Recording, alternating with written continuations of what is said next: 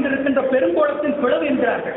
திரட்சியும் பிளவும் முடுக்கமும் இயக்கமும் அசைவும் சுழற்சியும் சுற்றும் இன்னும் பூத்திருக்கின்ற உலகங்கள் எல்லாம் குலுங்கி செயல்பட்டு பொங்கு எழவும் அவனே அருள் செய்கிறான். அது மட்டுமல்ல உயிரினங்களுக்கெல்லாம் உடல் வடிவம் தருதல் வாழ்வு தருதல் கூழ் ஊட்டல் ஒருவர் சொன்னார் கூழ் ஊட்டல் என்று சொன்னார் ஒரு கோவிலில் இறைவன் நமக்கு ஊழ் ஊட்டல் நாம் செய்திருக்கின்ற முன்வினைக்கேற்றவாறு வினைகளை எல்லாம் நிறுத்தி அதிலிருந்து மாற்றங்களை பெறுவதற்கு அருளையும் சுரந்து வருகிறான். அதற்கு ஊழூட்டல் என்று பெயர். அது மட்டுமல்ல இறைவன் நம்மோடு சேர்ந்து இணங்கி இருத்தல் இருந்து காத்தல் பறந்து காத்தல் பரிந்து காத்தல் நற்றம் பேணல் குற்றங்களை ஒருத்தல் மறுத்தல் மாற்றல் பொருத்தல் ஏற்றல். இத்தனை பெருமை பெரியோர் மாசற்றோர் இலக்கம் அருளாளருடைய அருட்கூற்று இவற்றையெல்லாம் உண்டாக்கி சார்பு சாய்வு இலக்கம் அமைதி அறவொழுக்கம் இணைப்பு நல்லமைதி முதுபெரும் வழிவிழா அடிமை இவற்றையெல்லாம் நமக்கு பொழிந்திருக்கிறான் ஆதி பகவன் முதற்றே உலகு என்று சொன்னால் முதற் பொருளாக இருக்கின்ற அனைத்தும் இத்தனை பணிகளும் செய்கிறது என்பது அதற்கு உட்பொருள்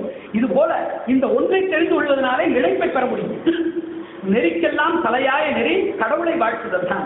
கடவுளை வாழ்த்தாது பிற எல்லாம் செய்வது மூழ்கி இருக்கின்ற குழந்தையினுடைய உயிரை காப்பாற்றாது உடைகளையும் அணிகளையும் மாத்திரம் காப்பாற்றி வருவது போல இறைநெறி வேணாது பிறநெறி வேணுவார் பிதத்து திரிவர். வாழ்வில் பேரொழி காணாது பேருள் அழுவார் என்று பெரியவர்கள் பகர்ந்தபடி இறைநெறிதான் முதல் நெறி. நெறிய கல்வியினுடைய முதற் பெரும் முளையே இறைநெறிதான். இறைநெறி தெரிந்தவன் அறம் செய்வான். அறம் செய்வானுக்கு பொருள் அடிமை. பொருள் உள்ளவனுக்கு நல்லின்பம் வாய்க்கும் இங்கு நல்லின்பம் காண்பவன் அங்கு தொழில்பம் காண்பான் என்று இந்த நான்கு பெரும் பேர்களை ஏடிகளாக்கி பெரியவர்கள் வைத்திருக்கிறார்கள். அந்த அடிப்படையில் இதனுடைய பொருளை தெரிந்து கொண்ட நாம் இதே பெரம்பூர் கல்விக் கழகத்திலே இந்த இறைவன் அனைத்துக்கும் தோற்றுவாயாய் இருப்பவன் என்பதை விரித்து இப்படி தோற்றுவாயாய் இருப்பவனை நாம் தெரிந்து கொள்வதுதான் கல்வி பயன் என்று இரண்டாவது குரலிலையும் இந்த கல்வியின் பயனை அடைந்தவர்கள் தான் நீடு வாழ்வார்கள் என்று மூன்றாவது குரலிலேயும் நீடு வாழ்கின்ற நெறி பெற்றவர்களுக்கு தான் இடும்பை இராது என்று நான்காவது குரலிலேயும் இடும்பை இருப்பவர்கள் தான் இருவினை இருப்பார்கள் என்று சொல்லி ஐந்தாவது சொல்லையும்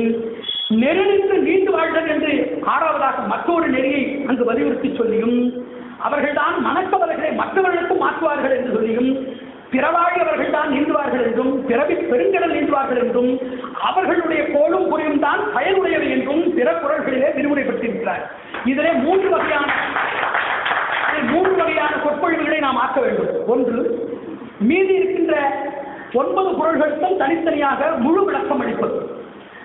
அதற்கு காலம் கடைசியாது கைக்கடிகாரம் பாராது கண் அங்கு இங்கு சோர்வுறாது துஞ்சுறாது அலைக்கழிப்புறாது வயிறு பட்டியன்னால் இருக்கின்ற வளம் மிகுந்த நேரத்திலே மிகவும் விரிவான உரையை எதிர்த்தாக்க வேண்டும். ஏனென்றால் இதுதான் உண்மையான தமிழ் தொண்டு அறத்தொண்டு நெறி தொண்டு தமிழ்நாட்டில் மட்டுமல்ல. தமிழ் மகனை தலைமகனாக்கி தரணியெங்கும் அனைவரையும் அரவணைக்கின்ற தனிப்பெரும் தகமை அறிவு கூர் ஆயுதம் தான் இது. இதை நாம் வளர்க்க வேண்டும் என்றால் குரல் மூலமாக நீ தெரிந்து கொள்ள வேண்டும். குரல் வந்து அசோகவனத்து சீதை போல பலர் கையிலே அகப்பட்டு பல பொருள்களை எல்லாம் பட்டுப்பட்டு படாதரப்பட்டு அது சிதைந்திருக்கிறது. அது நல்லவர் வாய்ப்பட்டு நல்லவர் உலகத்து நெறிப்பட்டு அவருடைய கண்பட்டு தடைபட்டு வாழ்க்கையில் அனைவரும் பழுது நீங்கி பாடுபட்டு அவற்றை சேராட்டுகின்ற ஒரு நன்னாளை பொன்னாளை நாம் விதைக்க வேண்டும். இது முதலாவது நிலை இரண்டாவது முனைவர் அபய நடராஜர்கள் இதை கேட்டிருக்கிறார். நற்றாள் என்றால் என்ன?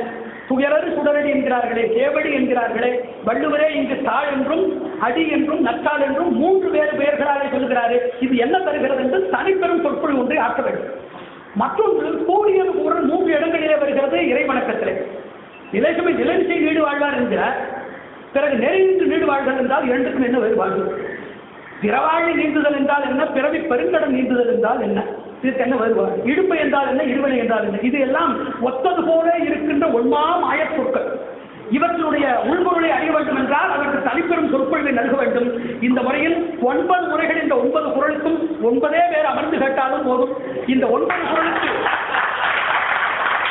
உட்பொருளை ஒன்பது முறை நல்கி கூடியது ஊரல் போல் தோட்டமளிக்கின்ற குறைபாடுகளை எல்லாம் நீக்கி குறையில் அருட்களஞ்சியம் குரல் என்பதை காட்டுகின்ற ஒரு குறையேறு நெருக்கி ஒரு காவலரானாக அமைகின்ற ஒரு பேச்சினை அடியருக்கு நல்க வேண்டும் என்று இரண்டாவது பேச்சையும் மூன்றாவது தாழ் நத்தால் சேவடி துயரடி சொல்ற என்று பெரியவர்கள் எல்லாம் சொல்கின்ற அடி உருவகத்தாலும் உருவாலும் உணர்வாலும் தோற்ற மயக்கத்தாலும் ஆழ்பொருளாலும் எதை குறிக்கிறது என்றிருக்கின்ற ஆய்வுரையும் நல்க வேண்டும். இந்த பதினோரு உரைகளையும் நல்கினால் கடவுள் வாழ்த்து நிறைவு பெறும். கடவுள் வாழ்த்து நிறைவு பெற்றால் காசினி வாழ் நலவெல்லாம் நிறைவு பெறும். அனைவரும் சீகில் திருமால் நெறியாலே வையத்து வாழ்வாரெல்லாம் எங்கும் சிறுவருள் பெற்று இன்புறுவர் என்று சொல்லி அனைவரையும் வாழ்த்தி வணங்கி கல்விக் கழகம் கல்விக் கழகம் கமலக்கண்ணன் திருவடி கலவிக் கழகமாக மாறி அனைவருக்கும் நல்ல நெறி உணர்வை நுண்ணறிவினை தூண்டுவிப்பதில் முழு நலம் பெற வேண்டும். அதற்கு எம்பெருமான் மூதலித்து இவர்களை திருக்கண் நோக்கி அனைவரையும் உயர்த்த வேண்டும் என்று அவருடைய தேனே மலரும் திருப்பாதங்களில் வேண்டி இறங்கி அனைவரையும் வாழ்த்தி வணங்கி விடைபெறுகிறோம். நாராயணா மிக அருமையான இதுவரை நாம் இவ்வாறு ஒரு திருக்குறை கேட்டுக்கோமா என்பது எங்களை எங்களுடைய பெரம்பூர் நாற்பது ஐம்பது ஆண்டுக்கு முன்னே ராபி தெரிவித்தவர்கள் வந்திருக்கிறார்கள் டிவிக்கா டிவிக்கால் வந்திருக்கிறார்கள் மழை வந்திருக்கிறார்கள் அன்னையிலே பெருந்தோர்